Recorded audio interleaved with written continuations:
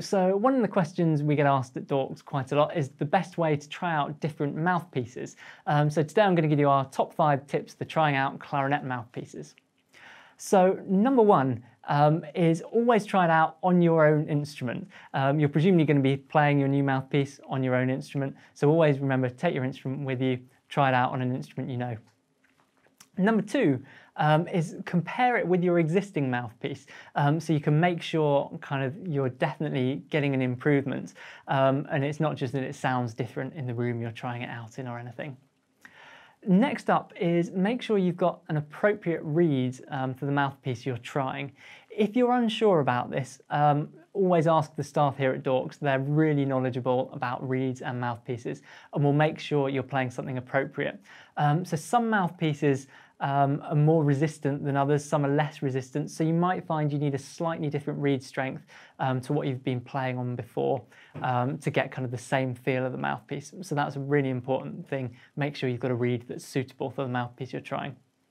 Next up um, on the actual trying, um, you're probably going to want to test the tuning of it. Mouthpieces can affect the tuning of your instrument, and it's always worth listening carefully to the tuning, either for example across scales or across octaves, kind of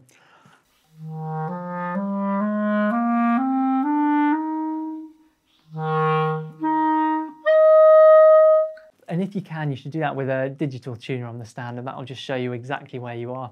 Um, again, if you need any help with that, you can always ask a member of staff um, to lend you a pair of ears to have a listen and see which mouthpiece your tuning sounds best on.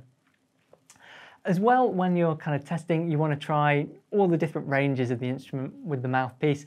Um, so make sure the mouthpiece is responding nicely at the bottom all the way up to the top.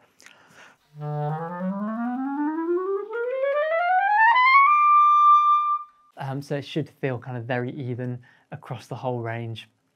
Um, the final thing I'd say is it's really good if you can try a mouthpiece at home, kind of in a room you're familiar with, as well as trying it obviously in the testing rooms here at Dawkes.